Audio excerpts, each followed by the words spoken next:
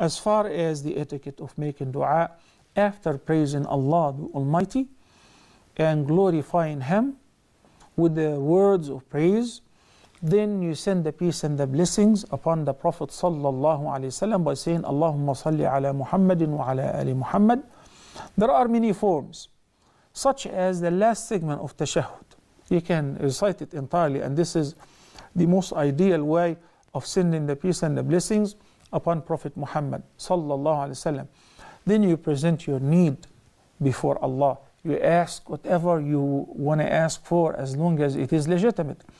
Then once you finish asking, you wrap up your invocation by sending the peace and the blessings upon the Prophet sallallahu alaihi wasallam once again, and this is how you make certain that your dua will be accepted.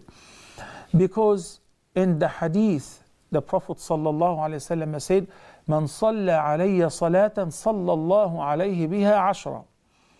Every time somebody will send the peace and the blessings upon Prophet Muhammad Allah will bless him ten times thereof.